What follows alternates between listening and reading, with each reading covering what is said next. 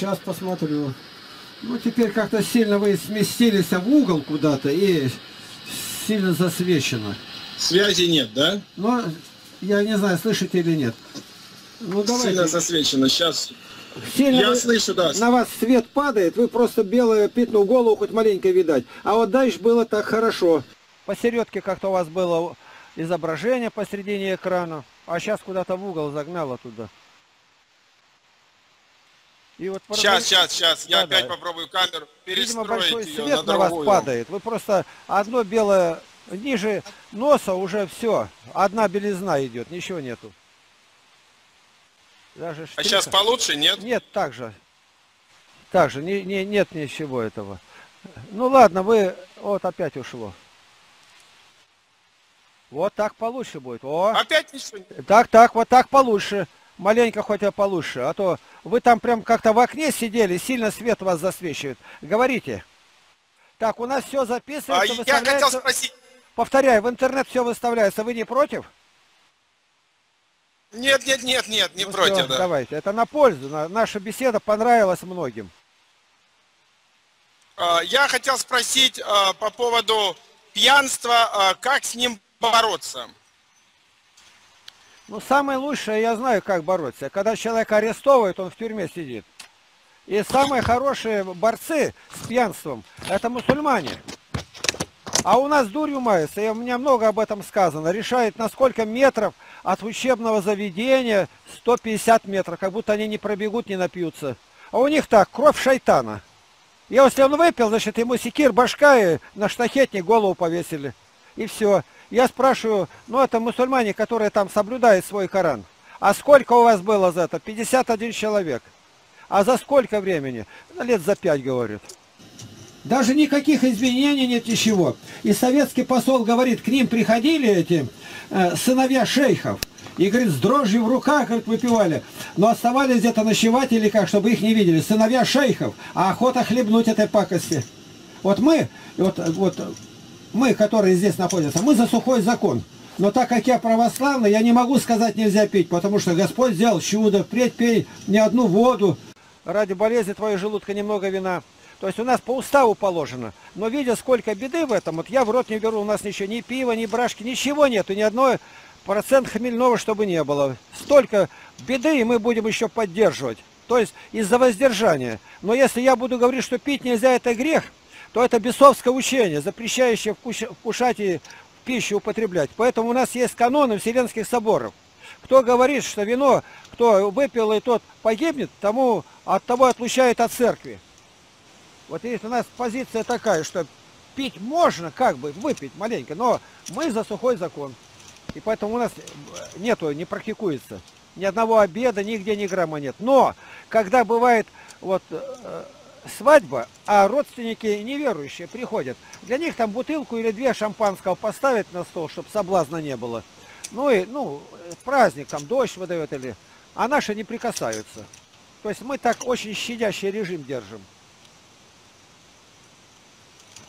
Хорошо, Геннадий, Так, что-то нету, нету звука. а, вот Звука, звука нету. Как Подождите, звука не было. Алло, звука не было. Повторите последнее слово. Ни одного слова не слышно. Нет, да, сейчас. Да. А сейчас звук есть? Вот сейчас слышно. Повторите, что А, говорили. я хотел спросить. А, Понял, хорошо. А, смысл в том, какие конструктивные действия можно предложить человеку или повлиять на него конструктивно как-то сегодня, чтобы помочь а, исторгнуть его из а, большой зависимости, рушится семья. То есть все это как бы, ну, просто гибнет и все. Ну, понимаете, это теоретически можно, а практически нельзя. У него своя воля. Самый страшный дар Божий – это свобода воли. Ну, вот у меня брат пьет.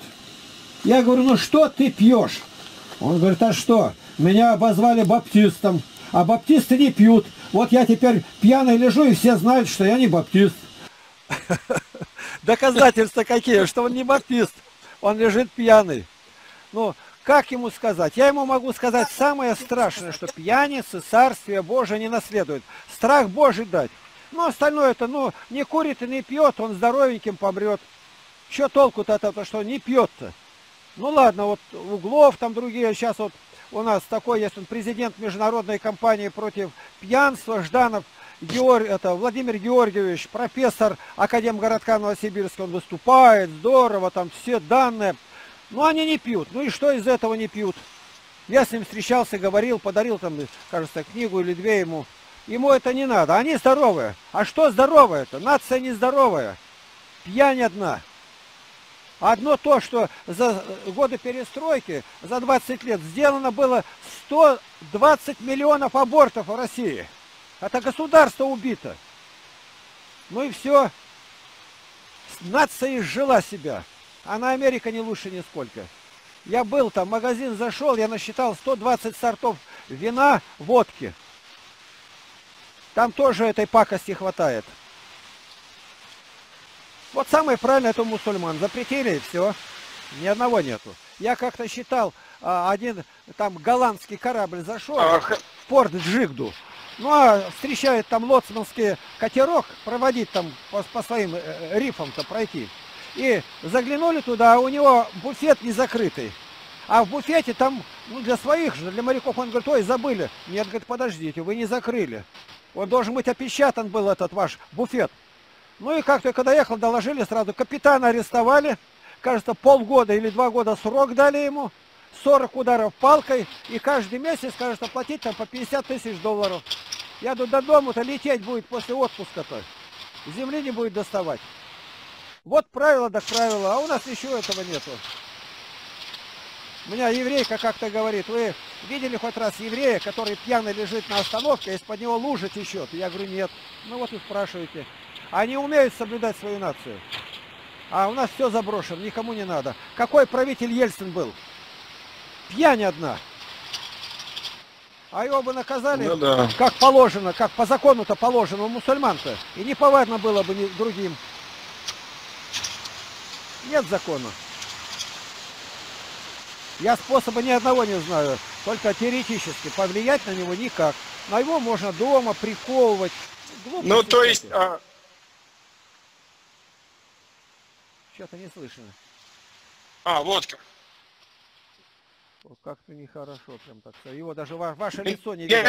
Не слышно. Не, не слышно ничего, не слышно. Все заново повторять надо. И у вас изображение исчезло, просто пятно одно и появилось, осталось. Видимо, какое-то там низинка или что.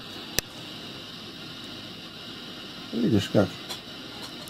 Видимо, движение все-таки не рекомендуется. Это не в космосе. Тут видишь, э, рытвина. Вот мы были на, по телефону говорить. Если впадина какая-то, то уже связи нету. И мы ждем, где на бугор там машина взлетает. Скорее в это время переговорить. Видимо, значение это имеет. Мы рыбу-то ловили, там в низинке-то были где. Вы стоите внизу. Не слышно. Не слышно. Пускай идет, пока не отрывай. С пьянкой бороться очень, очень непросто. Потому что рычагов никаких нету. А если было наказание, определенно, щетка, вопрос был бы снят. Сейчас малолетки пьют и прочее. А его бы взгрели раз-другой, а, отфуговали, говорит, плетями. Он бы близко не подошел а он вот убежит из дома. Ну, значит, вы боитесь его, что убежит из дома. Ему дома не нужен, каторга ему в подземелье, как раньше он делали во времена Юстиниана старшего. А он мужеложник. Ну что, а он скотоложник. Отрезает половой член, не кастрация, а половой член отрезают. Ему нечем будет это дурить-то. А дальше клеймет железом ему пищать, блудник или там мужеложник, и в подземелье и там катает эти тачки чтобы до света он не доходил, тут другой перехватит. И все. А от эти ничего нету. Потому что, если они не знают закона евангельского, пусть по закону Моисея живут, по закону мусульманскому. Государство это главный монстр, главный левиафан разврата. Главный левиафан, который все губит. И все. Он, Жданов говорил, патриарх Алексей II просил его проводить лекции для спившихся священников. Их сколько пьяных-то? Пьют и показывают здесь. Пьяный священник там людей задавил. И опять поставят. Он пьяница должен быть извергнут. А его с места на место. То есть разврат. Умов и искажения слова, как Тющев писал. Вопрос-то хороший. Я был, э, ну, раньше, когда ездил, приходилось мне там в Кишиневе, где проповедуют, и тамошнее, у баптистов. И подходили и говорили, вы скажите проповедь о пьянстве. У нас некоторые братья выходят, за кафедру держатся, чтобы не упасть. За кафедру держатся. Вот тебе баптисты не пьют. Ну, не так пьют, как православные это. Тут уже сравнивать не надо. Это отступники у них уже совсем какие. А где-то почти норма. По одному никак нельзя. А у нас-то это... Я, говорю, сейчас иду по улице, один священник, там меньше пьяных. Ну, подохло все уже. Меньше наркоманов стало. Почему? Потому что по пачками погибают. Речь-то идет не о двух-трех, а о миллионах. Пьянь. Кажется, три с половиной литра на душу населения спирт. То... Телефон. Телефон. Слава Иисусу Христу! Слава Иисусу Христу! Татьяна звонит. Мы договорились звонить, быстро сказать, 5 секунд там не, не включается. И мы успеваем говорить, он не высчитывается нас. Ну, по закону мы не воруем. Это закон такой нам дает право. Слово Христа прославили и все. Я знаю с пьяницами, где был. Вот все обещает. Вот у нас есть такие, есть двое. Все раскаивается. Смотришь, маленько пройдет, сколько времени опять заколбасил. Почему дух пьянство не вышел. Вот так, вот он опять ходит. Александр Руди из Америки. Алло? Так, слышу. Хорошо слышно. Да, ну, получше знаете, стало. Получше, да. Я хотел еще спросить, а, а может быть существуют народные средства? Нет. Трава, борзянка какая-нибудь там, я Он не знаю. вместе или с еще травой жует и выпьет, и не выплюнет даже. Я все время э, по этой отрасли тружусь. Результат только один, когда у человека есть страх Божий. Даже болеет, даже у него все уже отмирает, как от табакура. А он уже на одном издыхании выползет в коридор и курит все равно, так и это. Нету. Грех обладает силой притяжения. Никак, только Христос спасает. Человеку не вырваться, это рабство. Никак.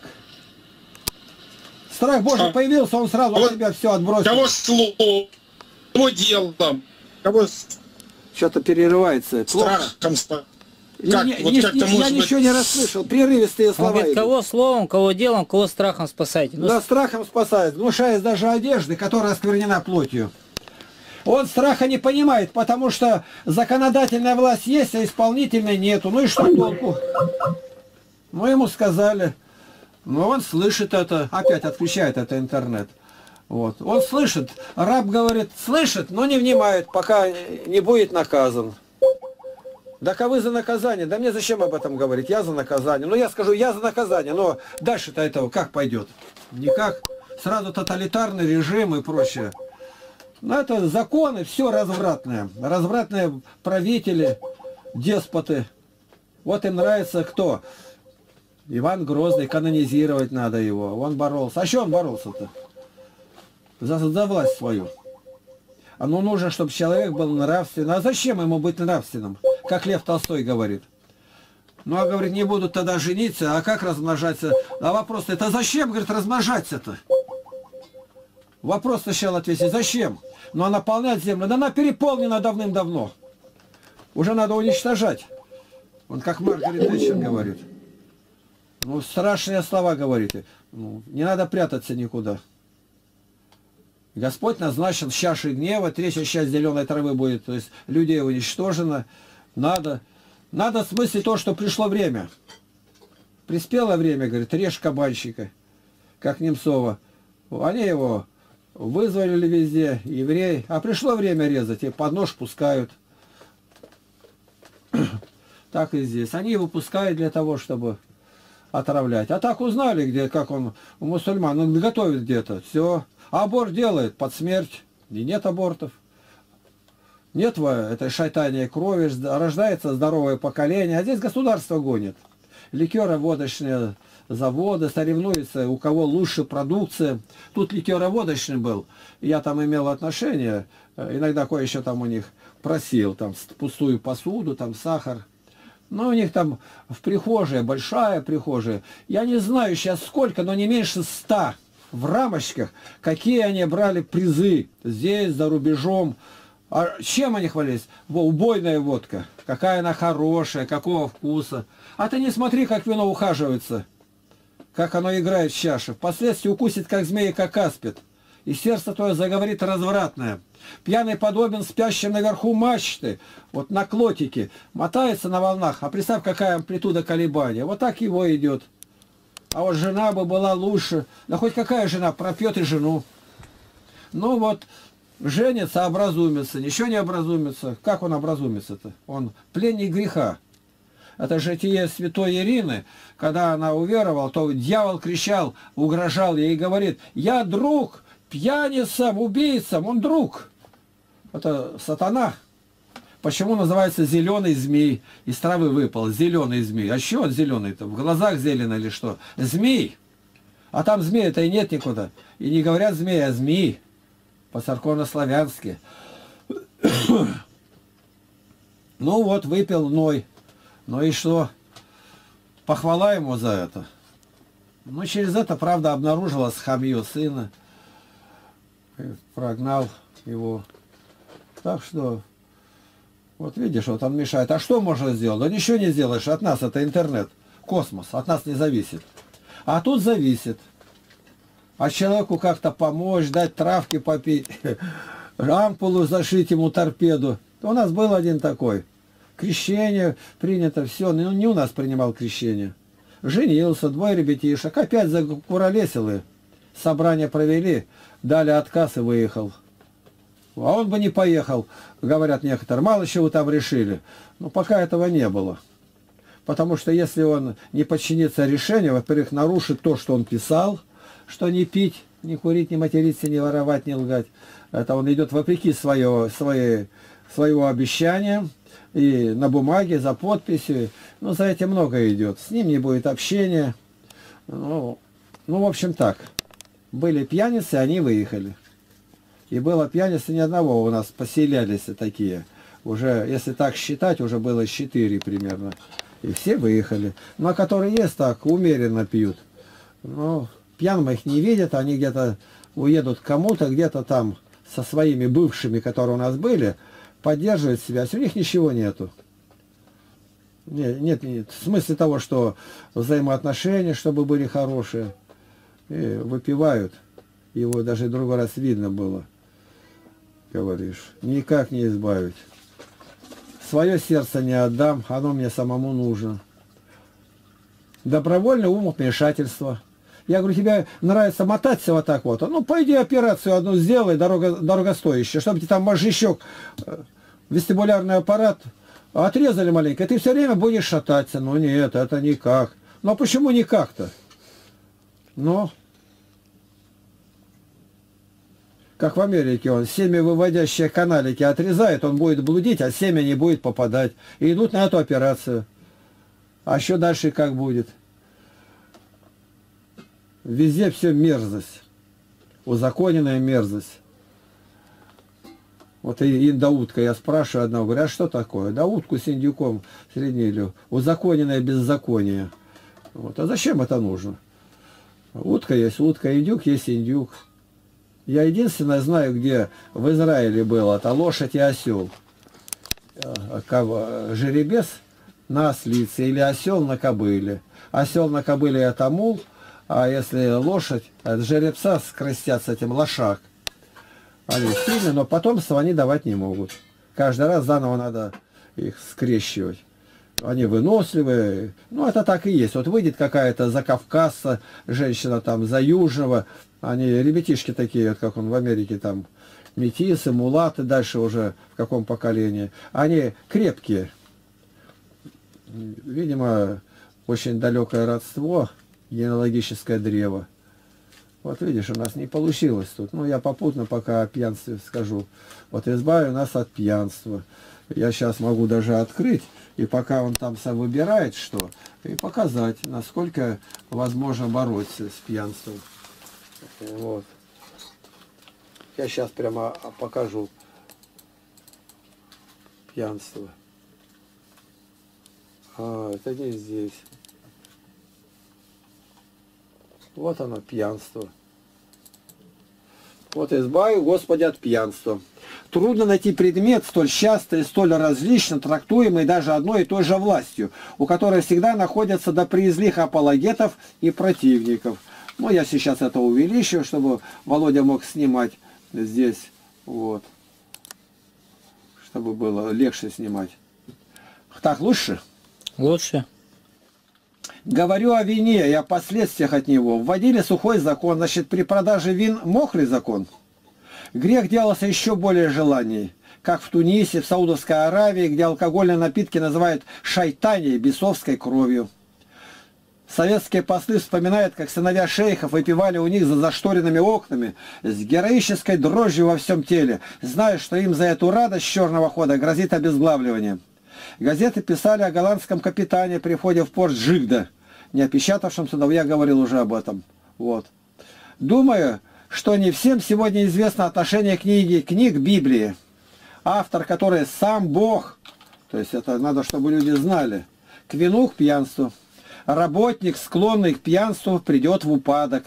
Вино и женщины развратят разумных. Гнили черви наследует его. Серахов 19.1.2. Все вместе взятые школы, обучение, профессии не успевают делать того, что делает вино, дисквалифицируя, делая нищим. Вино испытывает сердца гордых пьянством. Против вина не показывай себя храбрым, ибо многих погубило вино. Вино полезно для жизни, если будешь пить его умеренно. Горе для души вино, когда пьют его много, при раздражении и ссоре. Излишнее употребление вина увеличивает ярость неразумного до преткновения, умаляя крепость его и причиняя раны. Это Сирахов, 31 глава, 29-35 стих, а может даже 30 надо смотреть. Как правило, у проповедующих винопития вино и женщины идут в одной упряжке. Большая досада жена, преданная пьянству, и она не скроет своего срама. Сирахова 26.10. А отнюдь не сиди за вином с женой замужней, и не оставайся с нею на перу за вином, чтобы не склонилась к ней душа твоя, и чтобы ты не поползнулся духом в погибель. Серахов 9, 10, 11. Вино и женщины развратят разумных. И связывающиеся с блудницами сделается еще наглее. Серахов 19.2. Дети голубого воскресенья, как говорят немцы, наполняют дома для умалишенных. В Римской империи государственный закон под страхом смерти запрещал молодоженам до 330-летнего возраста употребление вина. В житиях святых 5 мая Ирина считаем, как дьявол кричал «Я друг пьяниц». И в Тихе 6 апреля житие исцелил прокаженного и дал наказ «Не пить вина и будешь здоров». Когда заговоришь о вреде пьянства – то знатоки Писания, не, проти... не прочитавшие даже строчки из Библии, непременно скажут, но ведь и сам Христос воду превратил в вино на свадьбе. Но мало кто знает, что святой Епифаний имел дар превращать и вино в воду. Если по церковным традициям сами пьяницы родные их, измучившиеся с ними, просят в своих молитвах обычных святому Ванифатию, имеющему дар от Бога после своей смерти помогать запойцам, освободиться от их беды, то к святому Епифанию нужно бы молиться о превращении винных рек в алкогольных берегах в обыкновенную воду. Любую покупку человек таит, неся домой, но если даже самый бедный в России купит любую червивку, сучок, он его несет, как дитя из роддома, на показ. Знай, какой Кондрат богатый, все-то у меня есть, мне и помирать не надо. Мечта же номенклатуры – не только иметь свой гарем, но и преисполниться дорогим вином. Премудрость 2.7. Пиршествовать каждый день блистательно. Лука 16 глава. Некогда молодой и безмерно богатый премудрый царь Соломон решил познать истинные радости жизни на практике. «Вздумал я в сердце моем услаждать вином тело мое». И вот эта суета и томление духа. Экклесиаста 2 глава. Апостол Павел предупреждает всех любителей Бахуса. И не упивайтесь вином, от которого бывает распутство. В нем же есть блуд. Ефесянам 5.18. Зная губительное действие пьянства, церковь на уровне соборов запретила священнослужителям даже ходить в корчму. Если кто из клира будет замечен в том, что ест в корчме, да отлучится, кроме случая, когда на пути по нужде в гостинице отдыхает. Апостольское правило 54. И только по великой нужде в пути для ночевки дозволялось войти туда. А преданных вину священнослужителей должно извергать из сана. И мирян, и низшие клирики да будут отлучены от церкви, ежели не пристанут от всего. Апостольское правило 42 и 43. В Ветхом Израиле был закон, по которому непокорных детей следовало наказать, приведя в судилище и сказав – Сей сын наш буйно непокорен и не слушает слов наших, мот и пьяница. Тогда все жители города его пусть побьют его камнями до смерти. И так истреби зло из среды себя, и все израильтяне услышат и убоятся. Вот действенное было средство, как у мусульман. И что? Пусть побьют его камнями.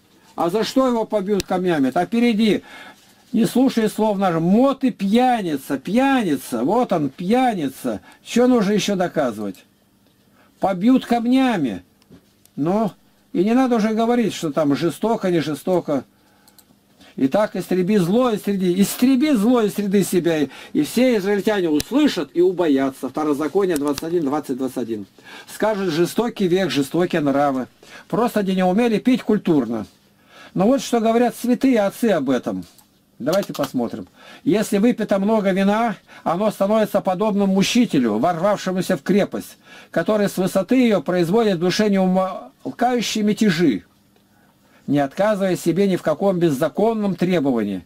Но прежде всего поработив рассудок, смешивает и приводит в расстройство весь сознательный строй жизни – Голос делает громким, возбуждает непристойный смех, опрометчивый гнев, необузанное вожделение, неистовую и бешеную страсть ко всякому беззаконному удовольствию.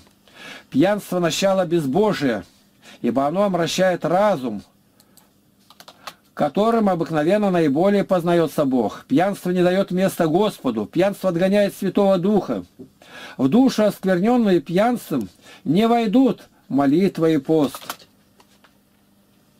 Вот так. Пост и молитва. Пьянство – мать порока, противление добродетели. А оно делает мужественного робким, соломудренного походливым.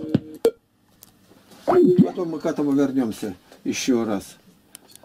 Похотливым, не знает правды, отнимает благоразумие. Пьянство – это добровольно накликаемый бес, через сластолюбие вторгающийся в душу. И кто это сказал? Запомните, Василий Великий. Кто проводит время в пьянстве, разгуле и объедении, тот подпал жестокой власти дьяволу. Пьянство – корень всех зол, пьяница – живой мертвец. Пьянство – это падение, лишение оправдания, общий позор нашего рода. Главное зло пьянства в том, что оно делает для пьяницы недоступным небо и не позволяет достичь вечных благ. Так что вместе с позором на земле, страждущих этим недугом, и на небе ожидает тихчайшее наказание. Пьянство происходит не от вина, и вино создано Богом, но порочная воля производит пьянство. И впереди там, что было сказано после Василия Великого, это все Ян Златоуст сказал. Если кто не пьет из-за священного чина, из духовенства, или мирянина не ради воздержания, а огнушаясь, тот да извержется из своего чина из церкви. Апостольское правило 51-53. То есть, если я буду за сухой закон и говорить, что кто иной пьет, не спасется, а то церковь накажет его. У меня было, я был в Синоде, и мне налили вино хорошее, видно, густое такое прям. Ну, выпейте, митрополит Виталий сидит, этот, э, теперь он митрополит Иларион Капрал, секретарь тогда он был. Я говорю, а мы не пьем. А выпейте, а вас говорят, что вы считаете вино за грех. Я говорю, мы не считаем. Ну, выпейте. Ну, я выпил. Я говорю, у меня жена квас готовит крепше. Они засмеялись, говорят, больше не пей. Как один э, сказал, вот у меня пьяниц своих хватает. Но я должен был доказать им, что я не против вина, нет. Ну, не надо. Дальше. Вино надвое растворено. Умному на веселье, дураку на погибель. Хотя вино как лекарство положено по церковному монашескому уставу. Воскресные и субботние дни, иногда и Великий пост. Но Христову подвижники не только не злоупотребляли такой возможностью, но и воды да не досыта пили. Вино питье, винопитие – вино пить, это одно слово. Первое, праведным Ноем привело к тому, что весь африканский континент до ныне пребывает в рабстве. Бытия 9 глава. «Пробудитесь, пьяницы, и плачьте и рыдайте, все пьющие вино». Иаиль 1.5. «Пьяницы Царствие Божие не наследуют». Вот это надо прям криком кричать, всем показывать. 1 Коринфянам 5.11. Вот что одно должно бы выбить из рук пьющих чашу с вином. Пьяный бывает хуже бесноватого. Все мы жалеем бесноватого, а на пьяницу негодуем и гневаемся. Почему? Потому что у того болезнь от дьявольской напасти, а у этого от беспечности. У того от козни врагов, а у этого от козни собственных помыслов. Пьянство – несчастье, над которым смеются. Болезнь, над которой издеваются. Произвольное беснование, которое хуже ума помешательства. Пьяница неприятен для друзей, смешон для врагов, презираем подчиненными, отвратителен для жены, несносен для всех. Особенно же тяжело то, что пьянство полное стольких зол и порождающее столько несчастья даже не считается у многих виною. Пьяный более жалок, чем мертвый. Мертвый бесчувственно, не, не может делать ни добра, ни зла, а пьяный способен делать зло. И зарывший душу, как в могиле, в плоти зла, умершляет свое тело. Даже и удовольствием не можешь воспользоваться пьяница. Не может. Потому что удовольствие в умеренности, а в неумеренности бесчувственность. Пьянство всегда зло, но особенно в святые праздники. Здесь вместе с грехом есть и величайшее оскорбление и унижение божественных вещей. За это может быть и двойное наказание. Пьянство и само по себе может служить вместо всякого наказания, заполняя душу смятением, исполняя ум мраком, делая пьяного пленником, подвергая бесчисленным болезням, внутренним и внешним. Пьянство – это многообразный и многоглавый зверь. Здесь вырастает у него блуд, там гнев, здесь тупость ума и сердца, а там постыдная любовь. Пьяница не может видеть Царствие Небесного. И что я говорю Царствие? Пьяница не видит настоящих предметов. Пьянство превращает дни в ночи, свет во тьму. Пьяный, глядя во все глаза, не видит и того, что у него под ногами. Храм Божий – это тех, в ком обитает Дух Божий. Храмом идолов и дьявола являются те, которые оскверняют себя пьянством и невоздержанием. Христос хочет обитать у тебя, а ты попираешь его объедением и пьянством. Вот как сказал точно кто? Святой Иоанн Златоуст. Пьянство приводит к тому, что люди валяются в грязи, как свиньи, в болоте, делает человека скотом. Пьяный человек способен на всякое зло, идет на всякие соблазны. Тот же, кто так его угостил, становится участником и всех его беззаконий. Поэтому пьянице ни копейки не давай никогда. Поэтому, кто открывает дорогу гибели, тот и этой гибели бывает виновен. И кто это сказал? Тихон Задонский. Вот как. И надо поверить этому, что это действительно так. Дьявол ничего так не любит, как роскошь и пьянство, поскольку никто так не исполняет его воли, как пьяница. По толкованию Священного Писания святыми отцами находим, что вино означает строгость, обличение, наказание. Вино употреблялось как лекарство – Впредь пей не одну воду, но употребляй немного вина ради немощи твоего желудка и частых твоих недугов. 1 Тимофею 5.23. У пьяного все идет верхом, ртом и низом. Иоанн Златоуст. То есть он не знает ничего. И он оскверняется и морается, лежит пьяный, перемощится верхом и низом. То есть блюет он. У него и верх и низом. Два отверстия, две клаки получается. Вот описание состояния пьяницы, как будто не три тысячи лет назад позади, а в современный вытрезвитель мы видим. Горе тем, которые с раннего утра ищут секеры, водки, и до позднего вечера разгорячает себя вином. Исайя 5 глава, 11 стих. «У кого вой, у кого стон, у кого ссор, у кого горе, у кого раны без причины, у кого багровые глаза, у, у тех, у кого? Вопрос стоит. Ответ. У тех, которые долго сидят за вином, которые приходят отыскать вина приправленного, то есть настойки, коньяка. Не смотри на вино, как оно краснеет, как оно искрится в чаше, как ухаживается ровно, впоследствии, как змея, Оно укусит и ужалит, как аспид. Глаза твои будут смотреть на чужих жен, и сердце твое заговорит развратно, и будешь как спящий среди моря, и как спящий наверху мачты. И скажешь, меня били, мне не было больно, толкали меня, я не чувствовал. Когда проснусь, опять буду искать того же. Это притча Соломона, 23, 29, 35. Алкозависимость в таком положении свыше 70% населения бывшего Союза. Это мой материал, я писал еще во времена Советского Союза.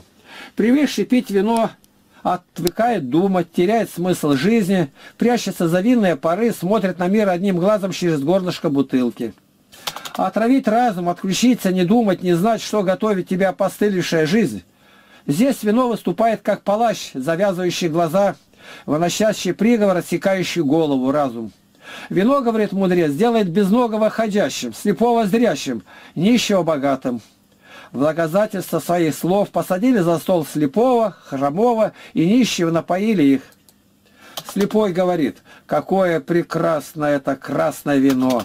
А без ноги, замолчи, а то так ударю ногой, все ребра переломаю. А нищий говорит, убей его, я за него заплачу. Вот что мы просчитали про вино. Поэтому не прикасайся. Заработал деньги, пошел, отнес. Я говорю, ну ты обещал, ну ты выносил деньги из дома, подошел к прилавку. Но это все были этапы, когда надо остановиться. Есть такой метод Шичко, который э, учит все записывать. Вот как ты прошел мимо. Ну, говорит, а как ты напился? Ну, как напился? Я мимо прошел, там товарищи стояли, звали, я не пошел. Ну, дошел до дома, стал записывать. Но когда стал записывать, стояли товарищи, я видел, там стоит э, Михаил, я видел, там Андрей стоит, я видел, там Даниила. И писать, когда стал в тетрадь, это надо записывать, на уроки ходит. И подумал, вот видишь, вот я все-таки крепкий, у меня уже есть сила воли-то. И когда я подумал, что у меня сила воли есть, и подумал, пойду и за это выпью. За силу воли, что во мне сила есть, воля. Один говорит, сила есть, а воли нет. Ну что, еще не получается у нас сегодня. Ну, может, получится все-таки. Ну, я давайте. постарался Когда тут домой приедете, вы этот ролик посмотрите. Пока вы тут не были, я просчитал целую лекцию про пьянство. А, нет, я слышал, слышал вашу, как бы сказать, этот э, э, лекцию. Ну, может быть, не полностью до конца. Но я там слышал, о чем речь была. Я еще прослушаю, конечно, про пьянство. И она мне очень нужна, эта э, лекция. Просто нужна. Хорошо. У меня второй э, вопрос такой есть. Давайте. А, Там где-то в Сибири у нас, в Сибири, а, где-то живет, а, если я не ошибаюсь, меня слышно, да? Да, слышу. И даже видно вас. Вот так и держите. А, Да, я просто видео ваше выключил, а, а, ну я вас не вижу, потому что, чтобы связь была лучше, я пока ваше видео Ага. для себя не включаю. Ничего, ничего. Потом Хорошо. увидите. Мы сейчас снимаем. Говорите. Да, а, есть а, какой-то а, в Сибири живет, Христос там у нас живет в Сибири где-то. Ну да, это в Красноярске. Он и- Виссарион. и- Виссарион. Это бывший милиционер Торопов Сергей. Это около этого Красноярска. Его, его он Сергей. А, вот как. Что вы можете сказать о таких вот? Антихрист, Ну, я Многие придут под именем моим. И будут говорить, я Христос там, Христос здесь. Не верьте, не гоняйтесь, не ходите. Люди совсем с ума сошли. Путин проехал и в одном здесь где-то в ресторане был, заехал. Так его ложку взяли, теперь глазам представляет секта Путина, секта. И исцеление. И там уже ложек 20 продают. Путина. А у нас был такой писатель в России, Бажов Павел. И он написал «Хозяйка Медной горы» про Урал, там, там где-то она под землей живет. Секту образовали. И главное, командует ей этой сектой, заводит кандидат наук. И ей молятся этой Медной горе. То есть это своего рода сшибачки такие. Кто как обдурахманит людей, Точно. так деньги и сшибает. Точно. Так я понимаю. Ну, так, ну куда уже? Это он написал сказку. Написал сказку-то, когда за ним КГБ гонялось, он спрятался дома, сидел, у соседей, его не могли найти. И он написал в это время хозяйка Медной горы от страха. Он не знал, где спрятаться. И сейчас это секта. И главное, секта Путина. Вот, вот еще интересно, его икону нарисовали. А вот в эти ну, лютеране канонизировали Адольфа Гитлера, Шекель Грубера. И икона его, и вокруг. Я говорю, а за что его? А за то, что евреев сжигал. Заодно это его надо канонизировать. Смотри, они еще евреи делают. Я говорю, народ с ума сошел. А другие Сталина, у русских прямо икона стоит уже. Надо канонизировать. Канонизировать еще Жукова, Есенина Ай-яй-яй. Собирается. Ну ладно, пусть будет. э, э, я не против. Подождите, повторите, Ну, что-то занимает. Уже не... Люди Это, Александр, а, подожди, Александр, не слышно ничего. Не слышно, вы заново повторите все. заканчивают, а их так легко вокруг пальца обвести. Да. Так получается. Есть такое стихотворение. Я говорю, Ага. а, я говорю, люди институты заканчивают, Не а их слышно. так легко вокруг пальца обвести. Да. Так получается. Я слышал такое, когда невесту сватают у мусульман. У русских как? Она университет кончила, она вроде бы ценнее, а у них наоборот. Если она училась в университете, колым за нее меньше. Потому что она уже нахваталась и будет непослушная.